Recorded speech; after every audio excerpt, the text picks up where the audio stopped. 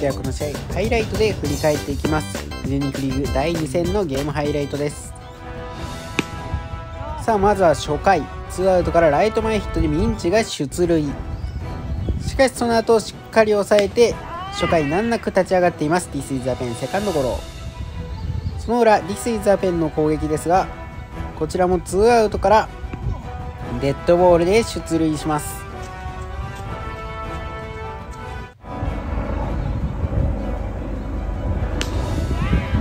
しかしここはサードゴロ。こちらも難なく立ち上がっていますミンチ。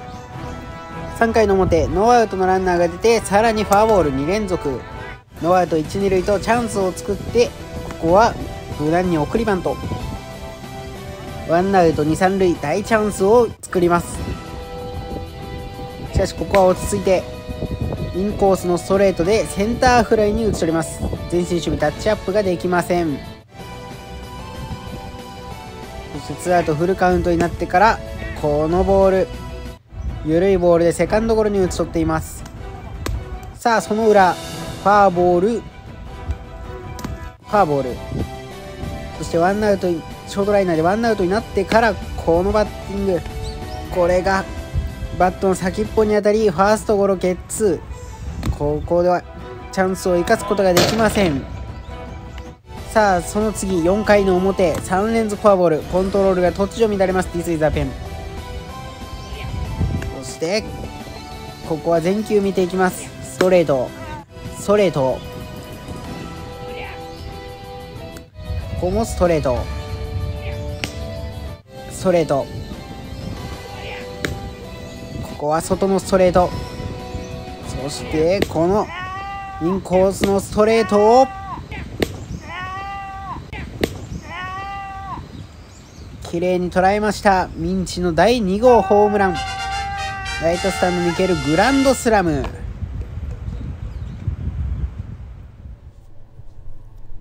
リプレイスローで見ていただきますが外のストレートから次に入ってくるインコースのストレートを見事に捉えています。見事なバッティング。大きい大きい4点の先制点。さらにまだまだ終わりません。苦手なカーブをセンター前へ。うまくヒットにします。でツーアウトにはなりますがこのバッティングこれもうまく肘を畳んでライトオーバーのツーベース。そしてこの苦手なカーブをうまくすくい上げて第3号ホームラン。同じイニングにホームランを打つという筆肉シリーズ史上初の快挙を成し遂げています。カーブにタイミング崩されずにしっかり打つことができました。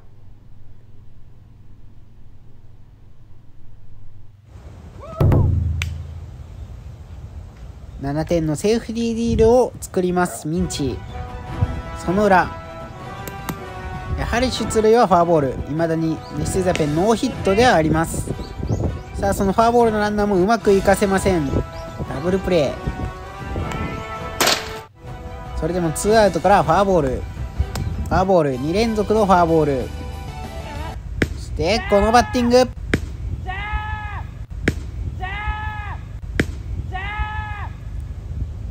ここはあまり弾道が上がりません。ライトレフトオーバーツーベース。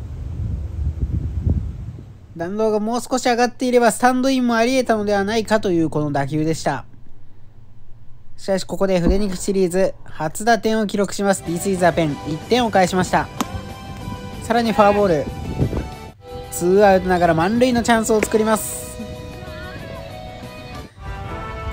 しかしここはサードゴロ。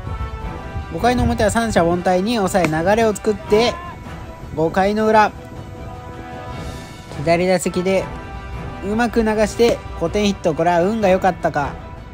しかしワンアウトになってからピッチャーゴロゲッツー。試合は7対1ミンチが2勝目を抑えています。打率などは本編からご覧ください。